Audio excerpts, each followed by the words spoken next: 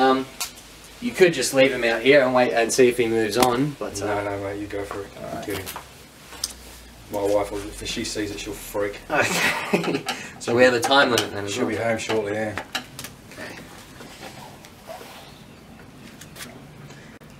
Yeah, you're right. It is just a, a carpet python, and look, they're effectively pretty harmless. They got Yeah. around 80 good sized teeth, but Also, No. they, they would bite you.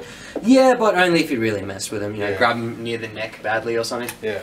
You know, when I handle them, I just kind of let them cruise from hand to hand, and I don't really restrict their movement too much. So they're pretty placid if you. If Yeah, I've heard that with the pythons that they're not. They're pretty harmless. Yeah, yeah, they are. But obviously, in the living room, or you know, indoors, and they get in chicken coops or stuff like that. It's always fun. yeah. This is, a, this is an interesting one.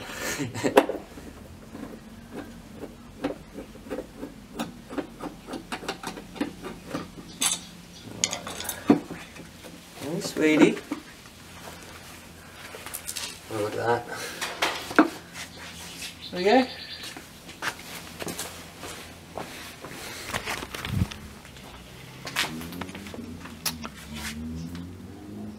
Hello.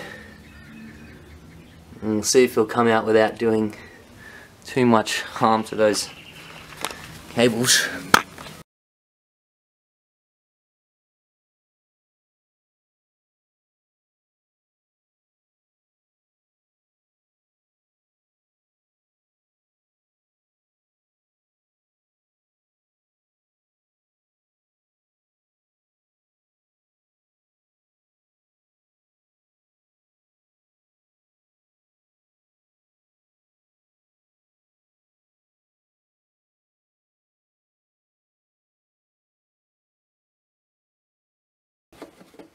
Here it comes. There it is. Yeah, uh, very good. Hello, sweetie. Yeah, keep coming. It's me you want. I'm the douchebag. Come get it. Come get a piece. He'll be alright, even after all this, he won't be. There we go. Ooh.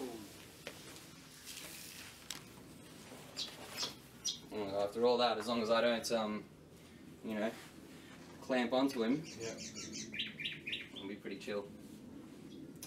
All right, and I think you uh, you get your speaker back. Yeah, I'll put that back. You're right. All right. Give him something else dark to hide in.